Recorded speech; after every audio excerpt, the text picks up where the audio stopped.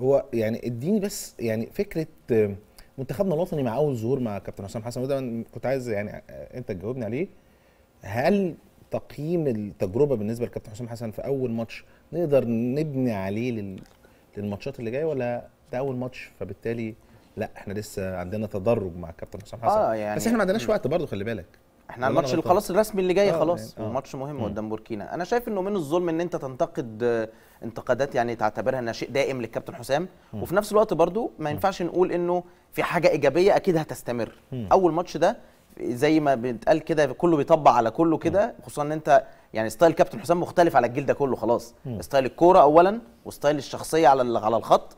والاستدعاءات الكتيرة اللي من أندية من لعيبة ما كانتش بتلعب بشكل مستديم حتى لو كانت لعيبة دولية. نتكلم في ربيعة نفسه بقى له مدة ما كانش لعيب أساسي في منتخب مصر. بنتكلم في اللعيبة البديلة كلها اللي نزلت. معظمها بتشارك يعني المرة الأولى يا إما تاني استدعاء دولي بنتكلم في شكري بنتكلم في في, في الشامي بنتكلم في لعيبة كتير. فأنا شايف إنه لأ في شيء إيجابي ما إنه ال- ال- ال- المنتخب عايز يهاجم.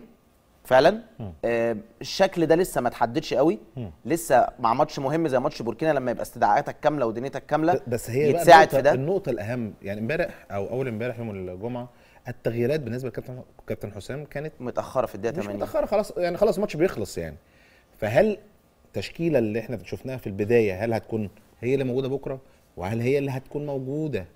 يعني إن شاء الله لو أي كل اللعيبة إن شاء الله تبقى سليم موجودة في ماتش بوركينا فاسو الأولانية لأنك آه، أنت بكرة عايز تكسب. محمد حمدي موقوف خلي بالك. أنا بتخيل ان هو هيبدأ بشكري عشان النقطة دي. آه. يعني شكري مثلا ممكن يبقى اختيار. طبعا مؤكد إن حمدي فتحي هيبدأ مكان مكان إمام جنب مروان عطية. ده مؤكد لأن أنت عندك مشكلة كبيرة هتواجهك بكرة. الثلاثه الثلاثه بتوع خط النص اللي عاملين يا كابتن عماد كل اللي حضرتك بتتكلم فيه ده. مودريتش وكوفازيتش وبروزوفيتش. آه،. هو ده مركز التقل فعلا بص, اللي بص هقول لك بقى هقول لك قبل ما تطلع الفصل بروزوفيتش عامل 96% دقة تمرير وجفارديول 91 وكوفاسيتش 97 آه الثلاثه جايبين مجموع. طب كله. آه. كله جايب طب. أحسن بصيرة في العالم. آه لا ثلاثة ممتازين لكن انت هتبقى محتاج فعلا انك تدخلهم في معركة بدنية ما تديهمش الكرة كتير وعشان كده حمدي فتحي مهم جدا آه، في ماتش زي ده. شايف شكري هيبقى ليه دور؟ متأكد إن شكري هيبقى ليه دور.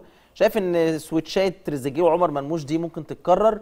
أو إن هو فعلا ياخد اختيار بمصطفى مصطفى. فتحي مكان واحد فيهم يعدل مرموش الناحية الثانية ويبدأ بتريزيجيه. تريزيجيه أنا بشوف دايما إن هو لما بيجي طب ما يبدأ بالثلاثه ويقعد ويقعد قفشة. ممكن يبدأ بالثلاثه ويحط قفشة على الدكة. يعني لو حط حمدي فتحي مع مروان وحط مصطفى فتحي في مكانه وتريزيجيه مثلا أو مرموش واحد فيهم يلعب يلعب يلعب 10 بتدافع في العمق باثنين لعيبة أنا شايف ما أنا دلوقتي أنا بقول لك الثلاثة أنا- دول تبقى الثلاثة دول مشكلة. ما أنا هي دلوقتي دي قلت- الفكرة إن هو يلعب بثلاثه يعني عندهم واجبات دفاعية أكتر عشان الثلاثه اللي إحنا بنتكلم عليهم تفضل ضاغطهم بحيث إن أنت ما يستحوذوش بالشكل الكبير ده أو بقى يلعب زي ما عماد بيقول وتبقى يعتبر مخاطرة كبيرة هي مخاطرة بس أنت يعني. يعني اولا كرواتيا الماتش ده pattern ماشيين عليه السنين اللي هو ماتش تونس ده. لما بيبقى فريق أضعف منه بياخد الكرة عنده بس هم عندهم مشكلة حتى لما بيواجهوا كبار أوروبا انه انه ما بيجيبش جوان كتير أصلا. آه. هو ما عندوش ثلاثة هجوم كده يعول عليهم أو ما جابش striker ات تقيلة من بعد منزوكيتش من بعد منزوكيتش ما ما, ما يعني كان أهم لاعب في منتخب كرواتيا في, في مركز تسعة. فهو دايما عندهم النقطة دي. لما بي- بيلعبوا لما بيلعبوا البرازيل بيلعبوا إسبانيا بيعملوا نفس الشيء ما بيتلقوش الأهداف.